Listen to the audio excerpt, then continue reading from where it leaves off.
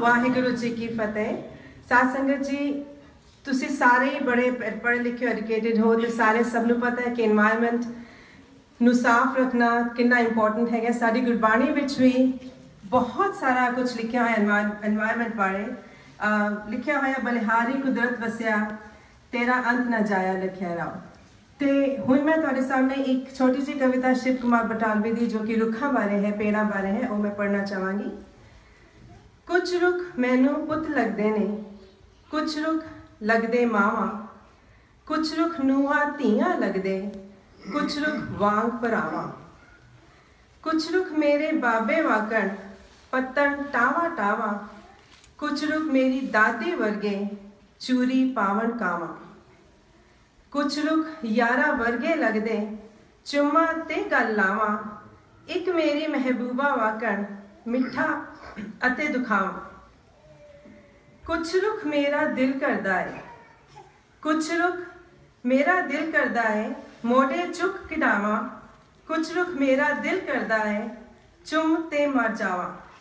ਕੁਛ ਰੁੱਖ ਜਦ ਵੀ ਗਲ ਤੇ ਚੁੰਮਨ ਕੁਛ ਰੁੱਖ ਜਦ ਵੀ ਰਲ ਕੇ ਚੁੰਮਨ ਤੇਜ਼ ਵੰਗਣ ਜਦ ਵਾਵਾਂ, ਸਾਵੀ ਬੋਲੀ ਸਭ ਰੁੱਖਾਂ ਦੀ ਦਿਲ ਕਰਦਾ ਲਿਖ ਜਾਵਾਂ।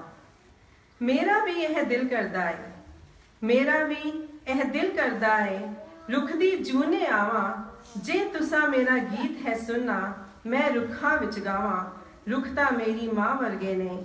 ਜੋ ਰੁੱਖਾਂ ਦੀਆਂ ਛਾਵਾਂ ਜੋ ਰੁੱਖਾਂ ਦੀਆਂ ਛਾਂ ਵਾਹਿਗੁਰੂ ਜੀ ਕਾ ਖਾਲਸਾ, ਵਾਹਿਗੁਰੂ ਜੀ ਕੀ ਫਤਿਹ। ਵਾਹਿਗੁਰੂ ਜੀ ਕਾ ਖਾਲਸਾ, ਵਾਹਿਗੁਰੂ ਜੀ ਕੀ ਫਤਿਹ। ਮੈਂ ਇਕੋ ਸਿੱਖ ਪ੍ਰੋਗਰਾਮ ਚੋਂ ਤੁਹਾਨੂੰ ਸਾਰਿਆਂ ਨੂੰ, ਉਹਨਾਂ ਦੇ ਵੱਲੋਂ ਤੁਹਾਨੂੰ ਸਾਰਿਆਂ ਨੂੰ ਬੇਨਤੀ ਕਰਦੀ ਹੈ ਕਿ ਪਲੀਜ਼ ਸਾਰੇ 14th ਆਫ ਮਾਰਚ ਨੂੰ ਗੁਰੂ ਹਰ ਰਾਏ ਜੀ ਦਾ ਪ੍ਰਕਾਸ਼ ਉਤਸਵ ਹੈ, ਉਸ ਦਿਨ ਨੂੰ ਇੱਕ ਵਾਤਾਵਰਣ ਦਿਵਸ ਦੀ ਤਰ੍ਹਾਂ ਨਾਲ ਮਨਾਓ। ਇਹੀ ਸਾਡੀ ਸਾਰਿਆਂ ਦੀ ਅੱਗੇ ਤੋਂ ਕੋਸ਼ਿਸ਼ ਹੋਣੀ ਚਾਹੀਦੀ ਹੈ ਤੇ ਭਾਵ ਹੋਣਾ ਚਾਹੀਦਾ ਹੈ ਕਿ ਅਸੀਂ ਆਪਣੀ ਮਾਤਾ ਨੂੰ ਜਿਹੜੀ ਸਾਨੂੰ ਧਰਤ ਦੇ ਰੂਪ ਚ ਮਿਲੀ ਹੈ ਉਸ ਦਾ ਨਿਰਾਦਰ ਨਾ ਕਰੀਏ। ਉਸ ਨੂੰ ਹਮੇਸ਼ਾ ਪੂਜੀਏ ਤੇ ਪੂਜਨਯੋਗ ਬਣਾਉਣ ਲਈ ਹਰ ਉਪਰਾਲਾ ਕਰੀਏ ਕਿਉਂਕਿ ਮਾਂ ਮਾਂ ਇੱਕ ਭਾਵ ਹੈ ਜਿਸ ਨੂੰ ਸਿਰਫ ਸਮਝਿਆ ਜਾ ਸਕਦਾ ਹੈ ਦਿਖਾਇਆ ਜਾ ਸਕਦਾ ਹੈ ਫੀਲ ਕੀਤਾ ਜਾ ਸਕਦਾ ਹੈ। ਬਟ ਉਸ ਦੇ ਲਈ ਕੋਈ ਤੁਹਾਨੂੰ ਕਰਤਵ ਜਾਂ ਡਿਊਟੀ ਜਾਂ ਅਧਿਕਾਰ ਸਮਝ ਕੇ ਨਹੀਂ ਇੱਕ ਭਾਵ ਸਮਝ ਕੇ ਕਰਨਾ ਪੈਣਾ ਹੈ। ਤੋ ਸਾਰਿਆਂ ਨੂੰ ਮੇਰੀ ਹੱਥ ਜੋੜ ਕੇ ਬੇਨਤੀ ਹੈ ਕਿ ਮਾਂ ਦੇ sorry, ਮਾਂ ਨੂੰ, ਆਪਣੀ ਮਾਂ ਨੂੰ ਅੱਗੇ ਤੋਂ ਇੱਕ ਸਵੱਛ ਵਾਤਾਵਰਣ ਦੇ ਰੂਪ ਚ ਰੱਖਿਆ ਜਾਵੇ, ਸੰਜੋਇਆ ਜਾਵੇ ਤਾਂ ਕਿ ਉਹ ਆਉਣ ਵਾਲੀਆਂ ਨਸਲਾਂ ਦੇ ਲਈ ਆਪਣਾ ਪਿਆਰ ਉਸੇ ਤਰ੍ਹਾਂ ਨਿਸ਼ਾਵਰ ਕਰੇ ਜਿਵੇਂ ਉਹ ਅੱਜ ਸਾਨੂੰ ਕਰਦੀ ਹੈ।